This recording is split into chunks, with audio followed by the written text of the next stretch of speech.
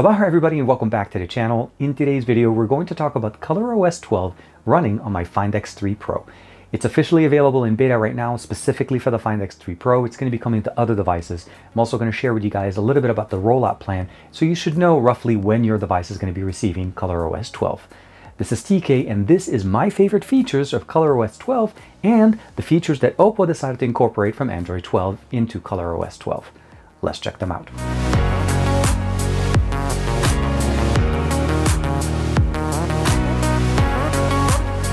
Like and subscribe and make sure you hit that bell icon so that you're always notified to whenever we have new videos on the channel. So here we have it, ColorOS 12 running on my Find X3 Pro. Uh, so keep it here again. I'll talk to you guys a little bit more about the rollout plan in a little bit. Uh, some of the main things I want to talk about first is what did Oppo bring over from Android 12? So the main features that if you've seen the Pixel version of Android 12, what do we have here? First and foremost, if we bring down the notification shade, we'll notice there's a couple of options here. The mic access uh, option here and the camera access are present here as a toggle. We're able to activate them, deactivate them, and also the ability of seeing if something is using our microphone or our camera. So if I go ahead and launch the uh, assistant, You'll notice right there that we have the nice little icon at the top telling me the microphone is being used. If I turn on the camera, get the same thing. And if we swipe down from the top, we actually get the notification toggle up there. So we know always when or what actually is using our camera or our microphone. Very nice, very simple, and of course it is available here. The other thing that we also have here is the ability of using the location or the approximate location as we've seen it in the past. So here under Instagram, if I jump down into permission and then we go down to location, I have it set here right now to be off on precise location. And by doing so, it says when precise location is turned off, app can access your approximate location, and that is built in now. So it's very nicely incorporated. Of course, you can always turn it on, take it on, and then of course change it. All of the permission options that we get there are all gonna be there. So it's very nice and very easy to customize. The last thing, of course, we're going to talk about is the privacy dashboard. That's going to be something that we jump down over here to privacy. And of course, the privacy dashboard is built in and we get the same aggregate information of all the uh, basically the usage of our camera here. Been using it a lot past 24 hours. Uh, the battery as you can imagine is still at 100% that's one of the reasons why it's not showing a lot of usage there. But uh, that's in there. Again all of that is going to be very easy to use and customized exactly the way you'd expect it now the next thing I want to talk about to you guys is uh, one of the things that Android 12 talked about was the fact that we can now theme our system using the theme engine now that theme engine isn't here. What we do have here is the ability of using uh, basically the personalization tab in the system. So we can either jump in from wallpapers here, we get the same experience, or if we jump over and go over into the customization tab here in the settings, jump down here, and then under personalization, we have the ability now customizing, uh, we'll talk a little bit more also about the always on display 2.0, but wallpapers. If I select the color, let's say I want to go ahead and change the wallpaper right now to something like this. I'll go ahead and hit apply and I'm going to make it so that it runs on both the lock screen and the home screen. From there, I'm going to go back a little bit and then of course under colors now, I have the ability of selecting and changing the color scheme of my UI element. And what I'm talking about here, you notice right now these are red and green. Once we have that done, it actually go ahead and apply that to the system. So it's no longer green, it's now down into more of a pastel. We can go into the default colors. Uh, that's the typical, typical ones that we got in the system. We can go with trendy, classy. There's an additional few options in there. Or you can even go in there and customize your own. Very nice, and it goes across the UI elements, even into the settings tabs, and you can customize it.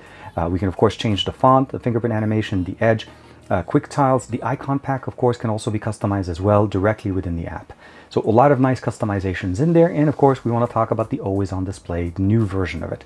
First and foremost, you'll notice I am using the emoji one. That's the new feature that was added also with uh, ColorOS 12. We also have the silhouette. That's the ability of using an image of yourself and it creates an outline. Of course, we also still have the ability of using those customizable wallpapers that we can actually create on our own. So we have the ability of using custom patterns. You can create your own text pattern text and image, of course portrait silhouette, and of course last but not least is the emoji. And of course all of these things can be customized and then of course when you shut off the display, you're able to actually see them directly. And I really like this one. I tried to do my best to make uh, one that looks very close to the way I feel like. Unfortunately, I couldn't get the color on the beard, but hopefully that'll be a feature in the future that we can customize. Of course, we have additional options in here that we can add, and of course, we could just put an image, uh, changing in all of that stuff. Uh, there's a lot of options here that we can do to customize our system. Now, the other option I want to talk about is some of the things that they added under accessibility. So if we jump down into the accessibility under system setting, there's a few options that they added. First, obviously, we have the ability of using uh, the ability of actually customizing the color or the color inversion here. So if we jump over here, we can turn it on. Uh, we don't have just the ability of going to grayscale. We can go to red filter, green filter, blue filter, and we can change the intensity of each filter turned on. So if there's a concern about color sensitivity, this is definitely easy to customize. Uh, we have the ability, obviously, of using um, hearing aid, mono audio, sound amplifier. We also have the ability of using touched sound, and that's this little function here. I'll give it a second, and I'm going to select this section. Sound amplifier. Use headphones to improve audio. So it'll read it for us and it works really good also for reading emails for us. So really nice, a lot of good uh, functional options here. And of course, all of this is built in to ColorOS 12. Now, one of the other things that they also changed here is the battery tab. So going in there, first foremost, you can obviously see the usage of the battery. We have a nice little graph showing us exactly how, how the battery usage is going.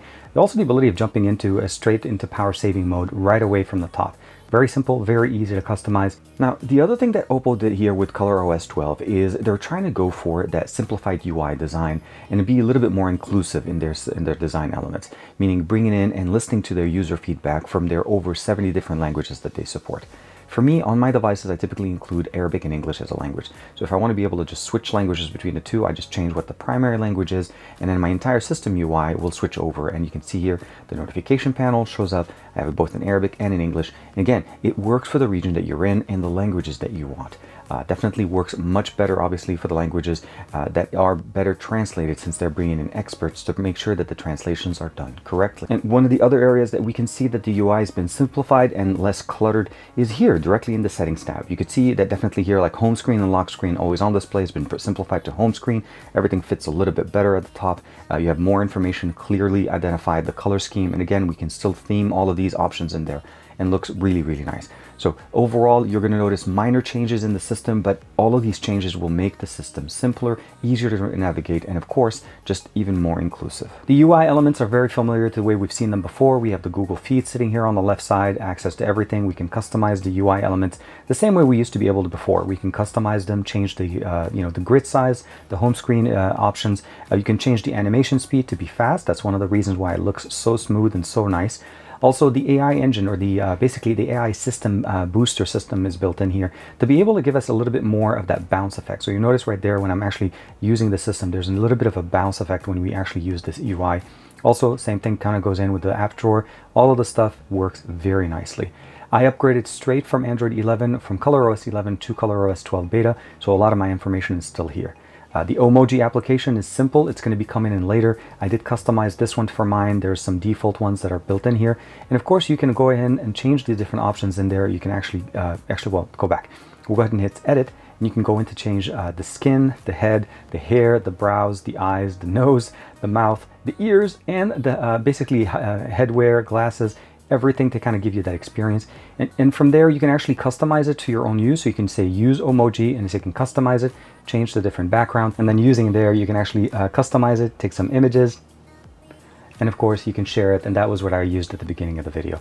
Very nice, very simple. Uh, the next thing I want to talk to you guys about of course is Phone Manager. It's one of those new applications they also added and this gives us a little bit more of an easy usability of the system. So we can jump straight into privacy from the application and into the privacy dashboard. Uh, we can also jump back in here to app management, go in there, customize the different apps. Battery takes us straight into it. So essentially some shortcut op options to be able to simplify using the device, as well as the ability of kind of optimizing deleting uh, cache files, privacy options, of course, security protection and general cleaning, just to optimize the system and allow it to run as fast as possible. So Phone manager is built in here. Uh, we have the new Omoji. We have some of those really cool uh, options in there. Uh, but last but not least, one of the really nice thing is they've updated the FlexDrop application. So let's go ahead and open up the Google Play Store. I'm going to bring it up here. You'll notice right there, floating window. Now FlexDrop automatically opens up at the top. If I interact with the window, I can actually scroll through, get it done. I can now also move it and I can also dock it to the left. That's one of the nice things. So let's say you're using an app, you want to come back to it. I can just swipe back, go in, do whatever I want. I can bring it back, and of course, I can close it or even bring it up as a full screen app. Very nice and very simple. It doesn't work with every app, but it works really nice uh, to be able to do multitasking on the next level. We still have the option of using the three finger uh, translation. So I'm going to go ahead and just basically select the screen here. And this enables us to basically do on uh, with straight translation from the three finger translation. So this one is going to go straight from Arabic to English, translates it for me, and obviously will work with any other language. You can customize it and change your preference. All of these things are still there. FlexDrop is very nice updated to the new system option, and of course everything else works really, really nice. Uh, the other thing I want to mention to you guys, we have the new GPA 2.0 for gaming. So experience in gaming is going to work really nice, as well as the ability of the system UI functionalities. Everything looks really, really good, and it's getting so much better. let's go ahead and talk a little bit about PC Connect. That's one of the new features they also announced, and it is going to be coming in as a separate update later on.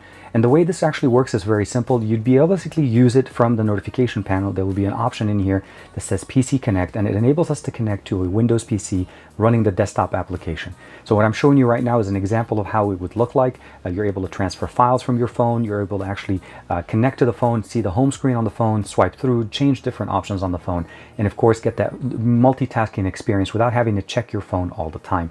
Very nice, very simple, and it is going to be available on Oppo devices coming in as an update a little bit later on. One of the really good things that I love about this is that Oppo took everything they did for ColorOS 11 and then built everything on top of that. So all the new features we saw with ColorOS 11 are here. Uh, the new flex drop uh, uh, optimization that we have the ability to be able to duck it on the left side. Of course, the picture-in-picture -picture functionality is still in there. We're still able to do that by the ability of pinching and zooming on the picture-in-picture. -picture. Uh, dark theme options here. We have multiple dark themes, so we don't necessarily have to have that extra dim feature that we have with Pixel devices. All of that is running really nicely on here. And of course, uh, the ability of customizing or disabling, enabling the mic access and the camera access are here. Now, I'm pretty sure you guys are wondering how is the rollout of all of these devices or all of these features are going to be coming to other devices and what's roughly the plan that's going on right now. Um, I will say this, that in October, the Find X3 Pro is pretty much going to be the main device that's receiving it. Uh, in November, we're probably going to be seeing some more with the Find X2 Pro, the Find X2 Pro Lamborghini Edition, and going on with the Reno 6 Pro. Uh, in December, there are going to be more devices, the Reno 6, the Reno 5, of course, the Reno 6Z, and other devices. And then, of course, then they're going to be going in uh, over to the other devices. My recommendation is if you guys can do a pause on the video right there to be able to see where your device fits. And of course, you'll be able to see when this should be coming to your device. And the last thing that was really exciting that Oppo announced was the fact that they're actually allowing us to know exactly uh, what's their support plan for their devices. What I'm talking about is how many years they're going to be giving us software updates, so Android version updates, as well as how many years of security patch updates that's going to be coming to each device.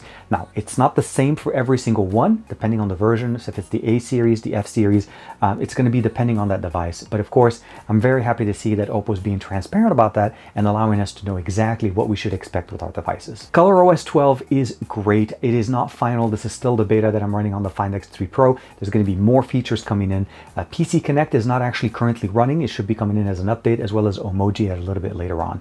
And of course, there'll be more updates and more features added as time goes on. That's the beauty of the way Oppo does with their devices. So are you as excited as I am about ColorOS 12? Let me know in the comments below. Of course, like and subscribe as usual. I'll see you in the next video.